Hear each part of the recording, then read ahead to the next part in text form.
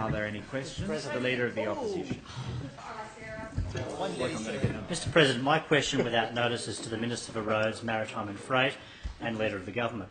Minister, what discussions have you had with colleagues about the impact of the restructure of the senior leadership positions in New South Wales Police, specifically its impact on the state's Traffic and Highway Patrol Command as it relates to, work sa- to road safety? Uh, Mr President, uh, I thank the honourable member for his question. And uh, I've got to say, if he ever makes uh, cabinet level, he would know that discussions in cabinet are is the same.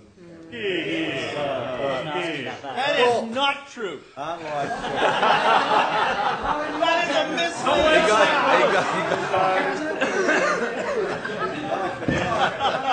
Some, some, some, some days, on, acknowledge some, some days you are just so helpful. So helpful. Uh, Mr President. Do not respond to Every interjection. notable Talking about exception, your government. Anything that involves the Honourable Walt Secord Ah, don't respond to does not. Come necessarily uh, uh, stay in house. Uh, uh, Mr. Uh, uh, President, uh, uh, Cabinet uh, discusses uh, uh, matters to do with this, as, as Very you would well. expect, uh, and as they should. Uh, but, Mr. President, uh, any comments that happen in Cabinet doesn't come from me. Supplementary, Mr President? The Leader of the Opposition on a supplementary question.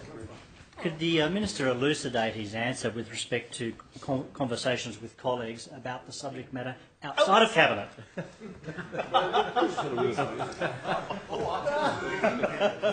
Look, I thank you for the temptation, but uh, you don't represent a radio station or a newspaper that, that some people are enticed by.